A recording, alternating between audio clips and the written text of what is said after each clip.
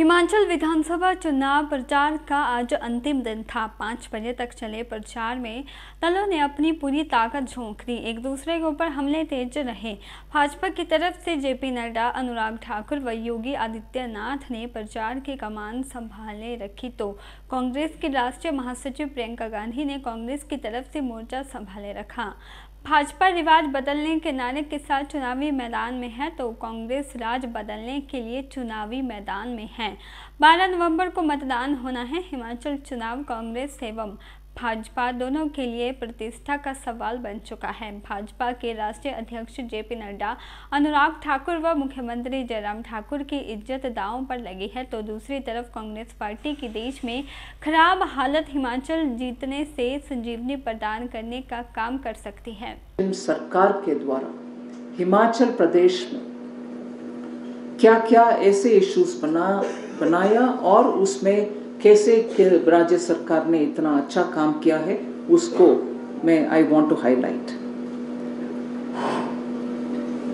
double engine के सरकार का आपने अच्छा सा उदाहरण हिमाचल प्रदेश में देख सकते हैं। क्योंकि जहाँ प्रधानमंत्री जी गरीब मतलब अंत्योदय के नाम में गरीब के लिए गरीब कल्याण के लिए, गरीब को एम्पावर करने के लिए जितने भी स्कीम ले आए हैं, वो सब के सब पूरे हिमाचल प्रदेश में इंप्लीमेंट हुआ।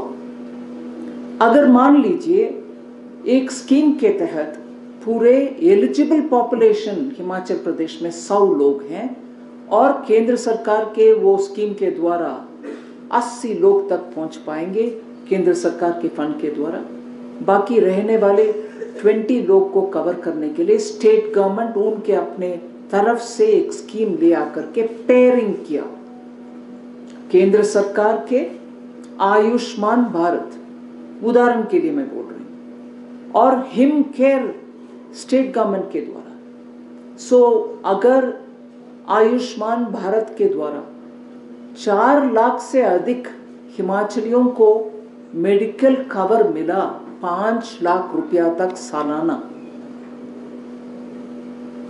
ये बचा हुआ लोगों को कवर करने के लिए हिम केयर के द्वारा छह लाख लोग को छह लाख से अधिक I am only giving rounded figures छह लाख के अधिक के लोगों को हिमाचल प्रदेश सरकार ने कवर किया।